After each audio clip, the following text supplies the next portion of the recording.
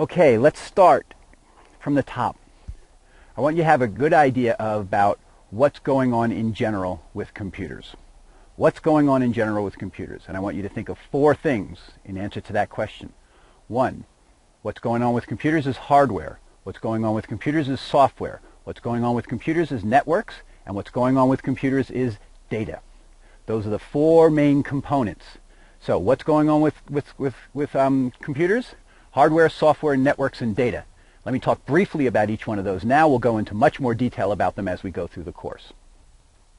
Let's start with hardware. Hardware is probably the most familiar to you because that's what you go and buy when you buy a, a smartphone or you buy a computer or you buy any kind of digital piece of equipment. It's the physical stuff.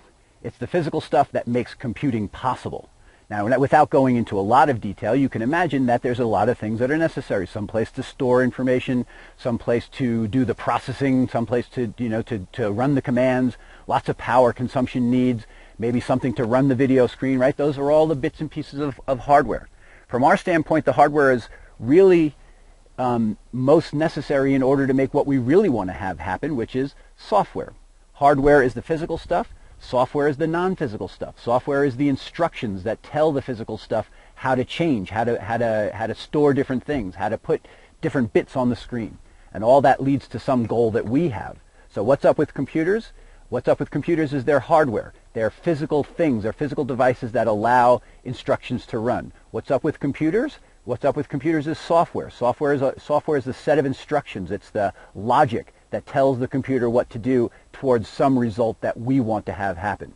What's up with computers? Networks. Networks are the interconnections between one computer and another. Now, technically speaking, networks are no, no different than, a, are just a form of hardware plus software, but from our standpoint, they're very important because a lot of what happens in computers happens because of networks, happens because of small computers, yours, mine, everybody else's, all connected together into these larger communicating networks where we can create programs that are much bigger than anything that could happen on our individual computers.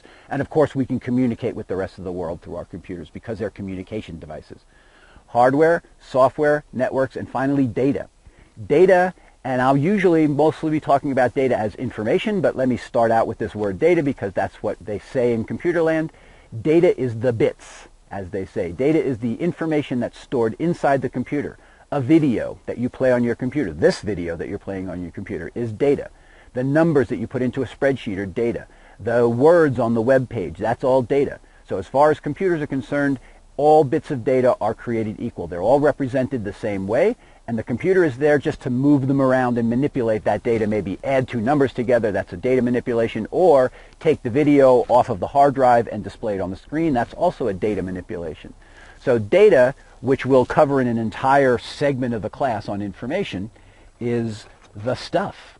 It's the information. It's in the end what we actually want the computers for so that we have a place to put our information, our data, and so we have a way of getting it back out towards some goal, a goal of entertainment or a goal of education or a goal of calculating the price of gold in Zimbabwe or whatever it is we have as our goals. So computers consist of hardware, software, networks, and data. Hardware is the physical stuff. Software is the instructions that tells the physical stuff what to do towards some result, towards some aim that we have. Networks are the way that our computers communicate with each other, making in effect supercomputers, larger and larger conglomerations of computers all talking to each other, sort of like societies. And finally, data, which is the stuff, the stuff that we care to store, the, care, the stuff that we care to put into our computers, and the stuff that we care at some point to get out, and the stuff that we care to manipulate in some way.